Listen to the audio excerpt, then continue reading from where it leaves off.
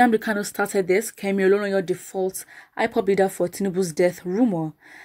Recently, there have been negative rumors about the health of APC national leader Bola Ahmed Tinubu. This was after his noticed absence during Buhari's visit to Lagos. This rumor became more intense as many claimed the politicians had passed had passed away. Although Chief Bola Ahmed Tinubu had cleared people's doubts as he ha- as he returned to Nigeria from France a few days ago, Kemi Olunloyo had however reacted to the claims. She faulted leader Nnamdi Kanu for the viral rumor. Nnamdi Kanu started this rumor with a very viral tweet. He needs to stop death rumors. She wrote this on her Facebook page. Um, Buhari and Tinubu are alive. Hashtag be focused 2021 and work on how you can help fix Nigeria in this last two years. All right. So people responding to this have opposed Kemi Olunloyo's allegation about Nnamdi Kanu, and here are a few comments about this. Somebody says, "Did he say Tinubu was dead?" Fact check, Doctor T. Um, Doctor Kemi. She's a doctor. Oh, before um coming public. Someone says, What has come over you these days, madam? Nobody can trust your news. Not Nigerians attacking this woman. um, that story started from Sahara News, not from Nnamdi Kanu. Um, check well. Um, I think yeah, because honestly, it's a bit mm, yeah. Well, fake news is affecting our society negatively as a Nigerian. We must stop spreading unverified reports, especially those involving the death of an individual. Um, again, I listen. Um, what, what, I don't, I don't, I don't understand. I really don't understand. Again, of course, you know, fake news is an issue. Again, we cannot, you know, detest or argue against that. Um, but then again, it's like I don't even know. I know it was the news was trending, but I don't think Nnamdi Kanu was the first person to do that. Because again, I, I, yeah, I think the whole place would have been shaken up. I mean, again, it's it's I think it's just too much. Back to back, already had TB Joshua and then Nnamdi, um no, and then Tinubu. I think that's gonna be a lot. Um, yeah, that's it. A lot of people now came for this woman. Well, again, Kemi Olunloyo is a person that has been she's been involved in a lot of things. What I say, a lot of messiness, a lot of drama. Um, and it's just it's just that's it. Uh, someone says both of you have started similar behavior when it comes to spreading fake and unconfirmed news. Right, um, Kemi, you have started again. Again, as I've said, she's always involved in some drama or the other. Just in, is it she? She is searching herself. Is she a blogger? Is she a doctor? What is she? We don't know. Well, I don't know. If you know what she's, please put it in the comment section below. Uh, somebody here says, um, she's not hale and hearty as you said. I have seen Tinubu recent photos. Something is wrong with his health. Again, you know, he in public spaces they have been mishaps that further this rumor.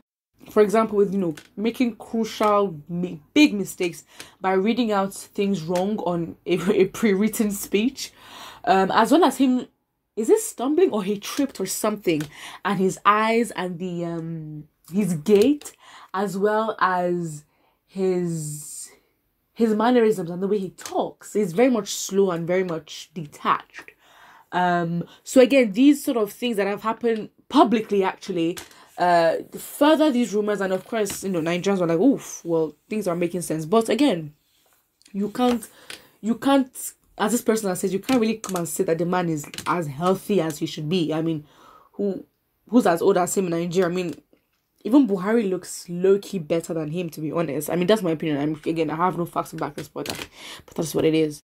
Um somebody here says old fool you man that has no again, I don't know why she's involving herself in this. I guess it's just what she does. I mean, she's part of the drama, I guess you'd say. Um, but there's literally no point. I mean, there's literally no point. I mean, the man is not dead, so the man is not dead. That's it. The news ends there. But I guess this highlights issues of first of all, fake news spreading so so fast. Um, and how Nigerians have reacted to it, as well as Kemi Olunloyo inserting herself into this. Um, by not just inserting herself and commenting on the issue, she now drags Nnamdi in which, again, Nnamdi Kanu is not one to back down from, you know, a challenge or a false accusation. There might be a reply or a rebuttal, whatever it is, there might be a reply, and, um, yeah, that's just, that's just what it is. Uh, somebody here says, Oh Almighty God, please make me be like Nnamdi Kanu, uh, the only man that can speak uh, only a word with the use of machine guns, fighter jets. Okay, that's a bit extra.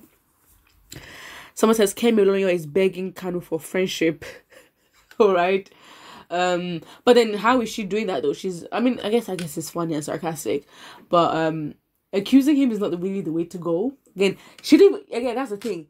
You are sort of promoting what, or you're you're promoting what you condemn. In terms of she's saying, okay, fine, Nnamdi Kanu, you started fake news, but then you yourself, you have not proven how Nnamdi Kanu is, is guilty of spreading the fake news in the first place. That's the real question. Uh, somebody here says she has never mentioned Igboho's name, wretched woman. Ooh. Again, this woman, again, I don't know. The public perception of her is not necessarily a good one. Um, people have opinions or whatever they will always have opinions. Uh, but again when it comes to her she's just been involved from politicians to celebrities. Sometimes it seems as if she's it's just not a good vibe. The reception that nigerians or the perception of her um in the in the eyes or the minds of nigerians is not a positive one. And it's just like why are you involving yourself? Why are you involving yourself? And again you're involving yourself in something in which you don't even have the true facts for and you're condemning somebody else for not for spreading rumors in which they do not have the full fact for. So again, I again this conversation gets tiring. It really does get tiring because it's like, then what is what is going on? What is really really going on? Uh, somebody here says Madame Kemi should be seen as a fake woman who always gives fake news. Again, with her brand, I'm gonna use the word brand because I don't know what else to use with her because I don't know what she does. Um, with her brand, it's never right now. I don't think it's more of a trusted brand. Like I don't think it's. I don't think Nigerians would trust and say, okay, fine. She says something, we'll believe it. Uh uh Because of how involved she is in drama every single time, she's just I don't know, unreliable. I guess for some people. I mean, sometimes she may be right, but it's just the vim and passion in which she says so. I mean, I don't even know a lot about this woman, but I just think it's just a bit, it's just a bit problematic. Uh, and again, in the comment section here, people are going at her. They're coming for her neck. That's it. Uh, someone says, why all the abuses? Why? Kemi, you need superintendent, superintendent power for those that understand. Stop all these accusations. And uh, Mazi Nnamdi Kanu never said so. Uh, someone says, her comments can make impact if she didn't mention Nnamdi Kanu, old crook. But then it's like, oh yeah, true. Just coming for the fact, stop spreading false messages. That's it. Put what you think and don't forget to like and subscribe.